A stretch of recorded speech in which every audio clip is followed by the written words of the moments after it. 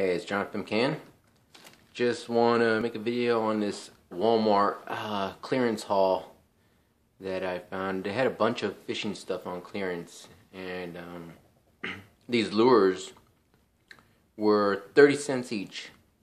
Um, for the hard ones, the see, the frogs were 50 cents, and the inline spinners that are over here, those were 35 cents. Actually, I have a I have the Walmart receipt so you can see it. The top stuff's just like food and stuff, but they start right there. But yeah, 30 cents. Pretty good deal. Um, and brand is that same brand. It's it's like the Walmart brand. They make the cups and stuff. The Ozark Trail. Um, and you get two in each packet. It's kind of neat. And I got all different kinds. There's like top water poppers and dive baits and um, just all types. Some have a really big lip on them for diving.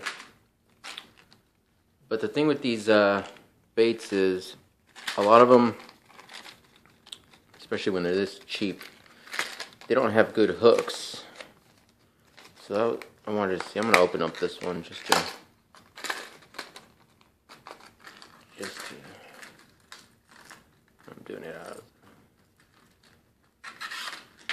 Alright, I got one of them out. So, looking at it through the camera. I think it rattles. Oh yeah, it's got a, a rattle inside. Okay, that's cool. And actually, the hooks are pretty sharp. They're actually sticking.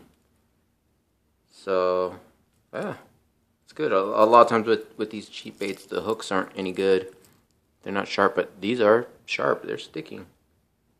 So, that's nice. That's bonus.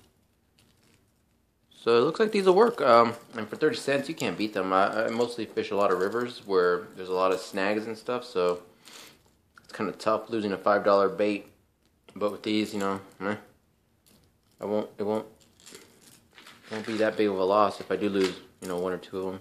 Uh, yeah, these hooks are sharp.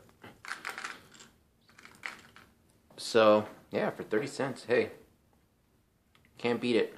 Pretty good Walmart haul. Maybe go check out your Walmart, see if they still have some. But, alright, you guys. Hope you guys like it.